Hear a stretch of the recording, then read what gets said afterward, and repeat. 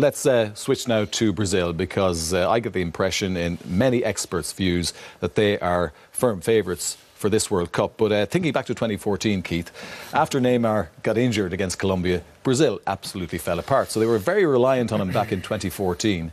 Uh, do you think they have a better squad now and more leaders? I do, and I think they're also less dependent on Neymar. The coach has come in during the qualification process, and he's made it a more rounded approach to the way they go about their business. Mm. There's no doubt Neymar will play a big part. How actually match sharp he is, I think we'll probably know as the games go on. But in terms of the dynamic of the side, very, very cru- crucial role for Casemiro in terms of how the team's set up.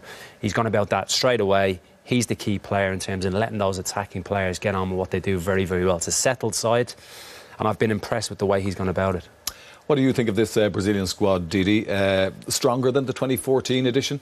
I think they are, and uh, I think it was also uh, maybe the, the, the, pressure weighed on them because I didn't like the scenes before the game when they had Neymar's shirt. Um, you know, when the when the anthems were sung and they pulled a mm. Neymar shirt out and showed him and said, "We do it for you," you know, Neymar is not playing, so don't worry about Neymar. Yeah. Try to do a job and, and, concentrate on what you can do, what you can affect. So I think it was also a, a you know, in a way, a sign of immaturity what they did uh, before the game against Germany, which obviously went uh, very wrong for them. Um, I think Coutinho is a different player now. Yeah. He's, he's, he's, really coming to his own at Liverpool and at Barcelona. Firmino had a tremendous season. Then in Casemiro and Fernandinho, they've got two players who, who give freedom to, to these guys. And we shouldn't forget that uh, Thiago Silva was also suspended for the Germany game. Um, and on top of that, and this is why I really like Brazil, an injury cost them probably qualification to the final four years ago when Neymar got injured. Now Neymar's been injured for the last 10 weeks. Uh, he'd be fresher. You know, yeah. you look at Messi's uh, number of games, you look at Ronaldo's number of games, and he didn't play for 10 weeks. And he seems to be back to full fitness now. And I think he can play a major part, especially when he plays seven games in the latter stages of the tournament that you had a bit of a rest before uh, through injury. And, um, you know, this is why I really like Brazil and I can't wait to see them tonight. Yeah.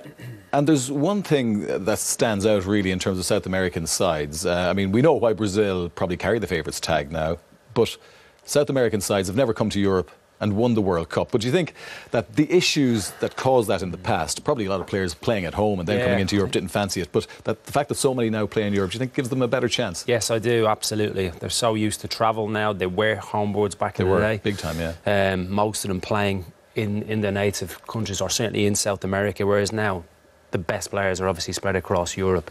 I think the way they prepare for games, and I go back to the way this manager has transformed them halfway through qualification. He's instilled that belief in them. He has got them together. And the biggest thing is they are less dependent on Neymar. So if the worst thing happens and he does pick up an injury, they are missing him.